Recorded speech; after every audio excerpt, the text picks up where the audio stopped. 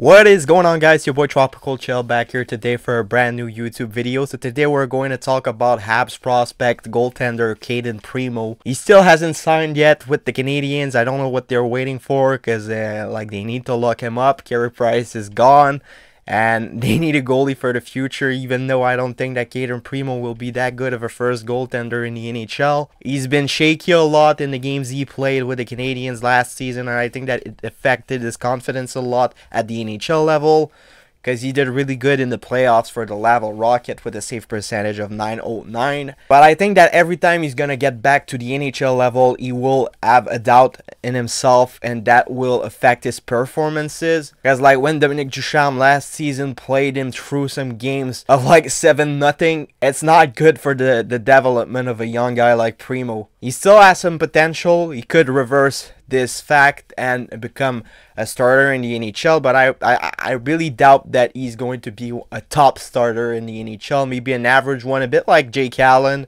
can be a second goaltender and can be a first. I think that's what the top potential for Cayden Primeau is. He's now 23 years old. He got drafted in the seventh round in the 2017 NHL entry draft.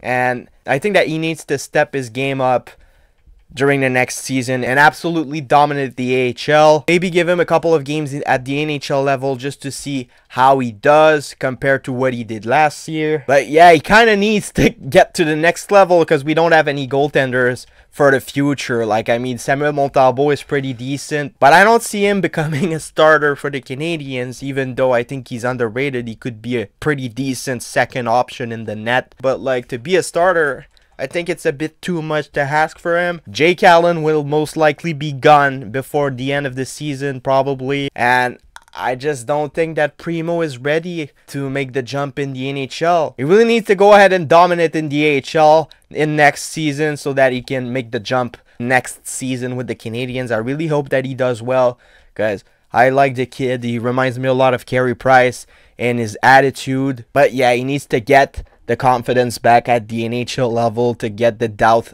out of his mind from what he did last season. So yeah, let me know what you guys think in the comments below. It's been your boy Tropical NHL, and I'll see you guys later.